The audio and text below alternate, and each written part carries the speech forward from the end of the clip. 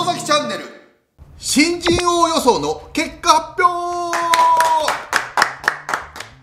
誰がプロ野球選手を見る目があるのか。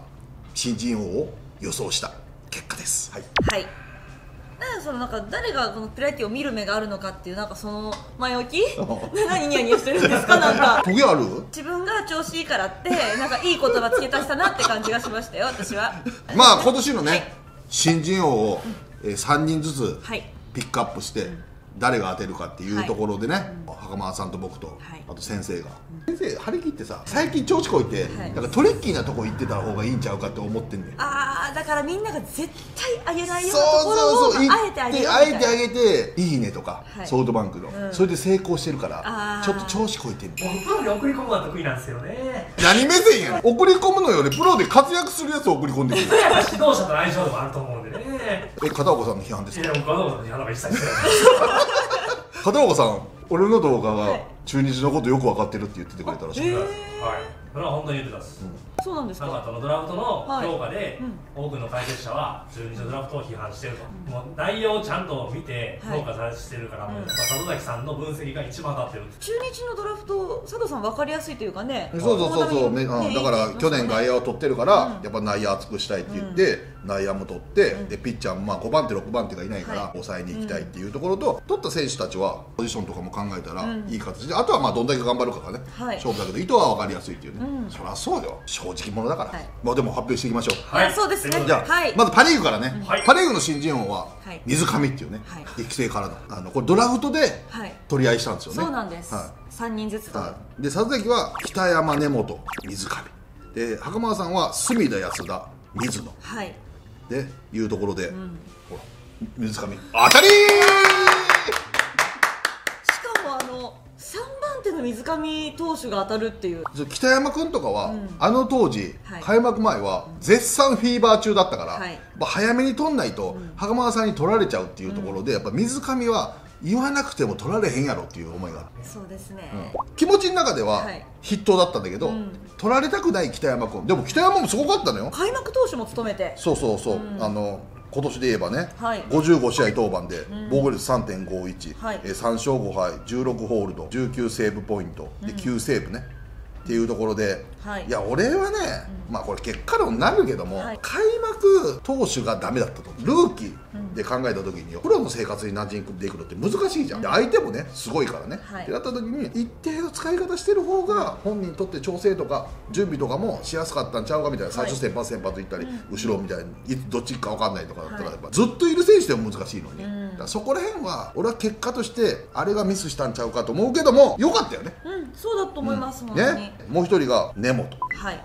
防御率2.52、ん。3勝3敗、はい。1ホールド、よくない？よかったよな根本な。チャンスあったよな、しあれも途中でさすぐ変えたりさもうちょっと起用法が、まあね来季に向けてっていうのもあるけども、はい。今年だけの成績考えたら、もうちょっと勝ち星を起用法次第では上げれたと俺は思ってんだけども、はい。でもこの根本投手選んだっていうのはこれはあんまりその前評判的にはなかったじゃないですか、ハムの中ではいいっていうあれだったけど、全体的にはね。はい。なのでなんか佐藤さんすごい見る目というか。あるでしょ。これだから来年ひょっとしたら1 2 3とかするとは思わないけどあー10勝近くしてもいいぐらいの能力はあるね。正直。はい。打線の援護とかもね、いるけども。あと北山はね未来の守護神になってほしいからね、はい。まあ今年1年の怪我なくね、水上はきっちりよ、仕事きっちり、本当ですね。今年平投手と分け合ってタイトル取りましたからね。しかも育成からね、はい。入ってきて。しかも育成の5位だっけ、そうそうそうそうそのぐらいですよね。でしかもだって去年ねまだねその新人王の資格が残ってるっていうのを見つけた時にやったと思ったね。へえ でもよかったよね。はい、ね。すごかったです。で袴田さん、はい。隅田。隅田投手、ね。私は絶対だと思ってました。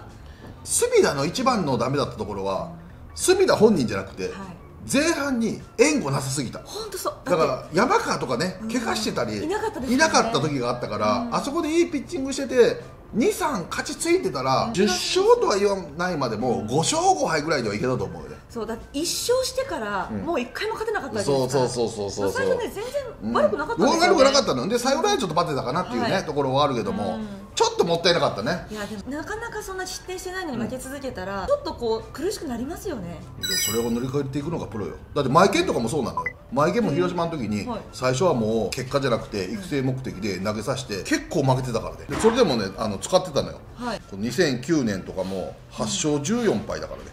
へえそうでも29先発させてんの。はい防御率3.36ね、そしたら次の年15勝8敗でタイトル取ったからね。へえ。おじゃあ来年あるかも。2008年はね9勝2敗でよかったけどね。次の年も悪くても投げさせるっていうね、勝率だって3割6分4厘だからね。はい。それでもう投げ続けた投げさせたっていうところはね。経験を積ませようそというとうそうそう。だからまあね来季に向けては期待だね。そうですね。1勝10敗という、でもまあ防御率は3点台ですから、続いてはい。安田。安田選手。ね。しどうしたん？あの最初ねコロナでいなくなったんだあよねそう。コロナであの落ちてからうん。戻ってこなかかったね。っていう感じですね。だからもってなんかあのフルスイングね。うん。魅力あったけどね。はい。でも2軍では2割5分7厘ホームラン4本だからはい。ままあまあねいい形のものをできれば来年もね、はい。面白い存在になってくるし。キャッチャーとしてねチャンスあると思うので、で続いてが水野、水野選手。が、まあ、俺がいい言ってたからね。そうなんですよでも佐藤さん取りに来なかったんだと思って。野手で新人王ってよっぽどだから、はい。やっぱ最初水野が使われたけど結果絶対残せなかったんだよね。でそこで上川端になったらい。上川端が一気に来たからね、そうなんですよ。だからアドバンテージは水野の方がねオープン戦含めてあったけども、はい。チャンスをつかみきれないで上川端取っちゃったから、はい。やだから水野はもうここでセカンドとかも守れるようにしてやっていかないと同年代だから終わっちゃうね、そうですね、ん。試合21試合にとどまっちゃったんですそうね。そうそうそうそうそうそうそう。袴田さん的には全敗だね。全全敗というかあの全部負けるとかないんで。一人なんで。え？全敗とかないんですよ。3人全部違うとかじゃないんですよ。佐藤さんもあの一人しか新人を取らないですから。だから全敗じゃないじゃんあと特別賞あるから特別賞。あー確かに。あなんか特別賞取ったら1ポイントとかなんか言ってましたそうそうそうそう。あの0.5 0.5みたいな、うんでもまあなかなか特別賞って取ることないのでっていうね、んそうそうそうそうはいそう。で、まあまあまあ。えー先生が？あそうだ先生、うん。えパ・リーグは？山下俊平太、はい。長谷川中森。うん。えそもそも山下と中森なんて一軍で投げてないんじゃんええとこまで準備とったんさ、うん。来年期待してね袴田さんはさ、はい。隅田で、はい。まあ一生あれだけど一軍で投げてるから、うまく噛み合えばね、はい。で安田コロナ痛かったよね、水野も一軍で試合出て、まあ勝負に負けた感じだよね、はい。勝負してませんけど、山下と中森。中森とかめっちゃいいとか言ってたじゃん。言ってましたね。な絶対来るみたいな。ロッテどういう育成してるのかなって気になるんで佐々木さん聞いてもらっていいですか？えロッテにえ自分の選択じゃなくてロッテに問題ある感じ？問題ですねそうなの？中森を使えてないロッテはバッと。なんか言ってますよ。でも2軍でも3試合しか先発してへんで。どうしたんです20イニングしか投げてないよ。ちょっと過保護なんですかね。そそういうパターン？はい。じゃあ山下は？山下投手2軍で8試合投げて防御率3.312勝2敗。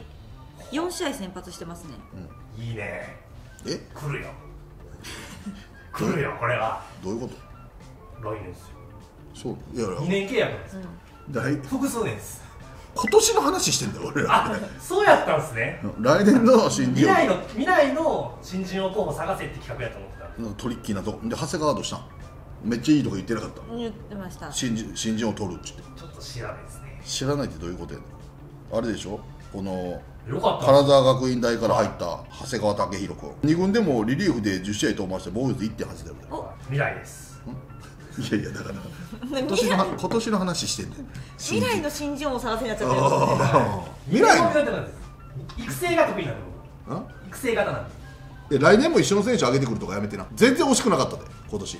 いい選手なのは間違いないけど全然惜しくなかったで。ちょっと今年には引っかかんなかったですね。これでもね一つだけ言わせてもらっていいですか？長谷川君と中森君はまあちょっと修行が修行やと思うんですけど、この山下君が来年ほんまに出てきたら、オリックスやばいっすよ。だからまあまあ、まあまあまあ本当に期待してください、うん。絶対出てくる。んでやい僕は僕だけ君より出てくるやあのーやっぱ最近やっぱ先生の株が上がりすぎてるから、落としたいやんな、そうですね。うんやっぱりちょっと、調子こいてるから。注目ですよ、うん。開幕ローで絶対来る来年？来年、おじゃあ、まあ来まあ。来年の新人王候補にはね投げてないからまだ権利あるんでね。そうだね。まあ入ってくるかもわかんないけどね。でも取れるかどうかわかんないよ。俺が山下俊平だっていう形ある私も